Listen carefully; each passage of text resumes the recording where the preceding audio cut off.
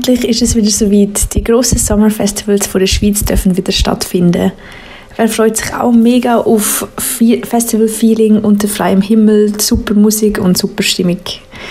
Ich freue mich auf jeden Fall extrem drauf und würde euch jetzt ein paar Festivals vorstellen. Ihr kennt wahrscheinlich schon die meisten, aber ähm, ich gebe euch noch ein paar Tipps und auch, welche Festivals wenn stattfinden.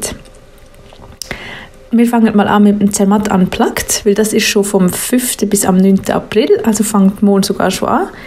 Ähm, das findet in Zermatt statt und Top Acts sind zum Beispiel Ellie Golding, James Bay und Tom York. Dann geht es weiter mit dem Greenfield Festival. Das findet in Interlaken statt und zwar vom 9. bis am 11. Juni im 22. und hat verschiedene Genres wie Indie, Rock, Pop und Metal.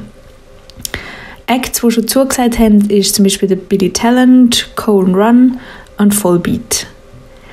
Auch Offspring, Rise Against und Heaven Shall Born sind auch dort dabei.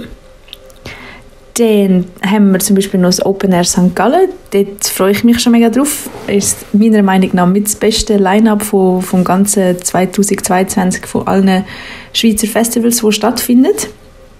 Dort kommt zum Beispiel Deichkind, Muse, ähm, Giant Rooks, Kummer, Marteria, Provinz und viele mehr. Das Open Air St. Gallen findet vom 30. Juni bis am 3. Juli statt und es werden ungefähr 30.000 Fans erwartet. Heißt, es wird also ein riesen Fest. Und was beim St. Gallen noch speziell ist, ist, dass der Zeltplatz direkt im Festivalgelände integriert ist. Dann ist es einfach nochmal gemütlicher und die Stimmung zieht es noch viel mehr auf den Campingplatz.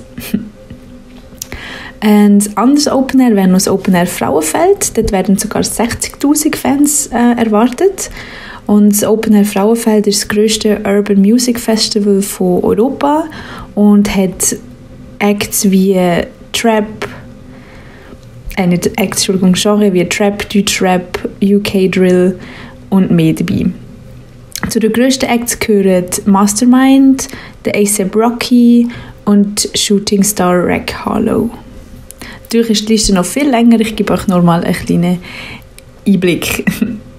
Dann wäre noch das Open Air Gampel im Wallis vom 18.08. bis am 21.08. Dort kommen zum Beispiel Limp Bizkit, Adam Macklemore ähm, und auch Broilers.